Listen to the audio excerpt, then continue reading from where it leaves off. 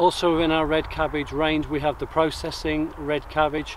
We have our earliest variety as Boscaro, uh, so from early productions looking for sort of July on or June, July onwards.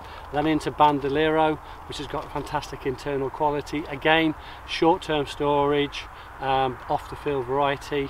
Um, and they'll be looking at sort of uh, August, September, and then we're into Clamaro uh, for long-term storage, heads of about three to three and a half kilos, uh, which is ideal for the red processing market.